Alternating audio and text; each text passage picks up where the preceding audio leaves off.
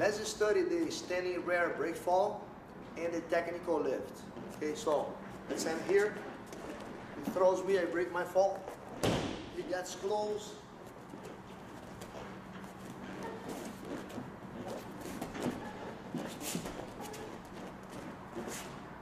Okay, so if you fall backwards, you should not push your elbow, you hurt your shoulder.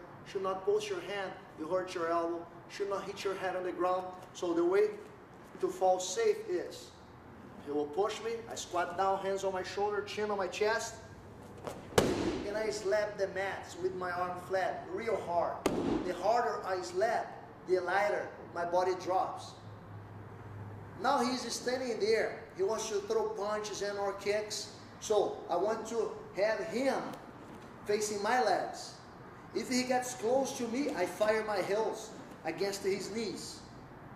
When he steps back, it's the opportunity to sit up by pulsing my elbow. Keep the shield high here, my eyes on him, and I pulse my hand. Okay, now you can fire your kick one more time. You raise your hip so it's more powerful and you have a longer reach. Just when he steps back, you prepare to stand up. Okay, so keep your eye on him and turn your belly button down. Okay, raise your hip, turn and step for balance. Then you posture up, cover, measure his distance. Okay, one more time. Arms flat. Break your fall. Keep him away from you. Now, one more thing you need to watch. Whatever leg he's stepping back, you show your shield. Because that leg there throws the strongest kick.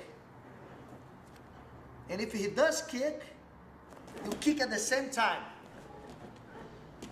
Okay, so always show your shield to that leg and to that strong punch as well.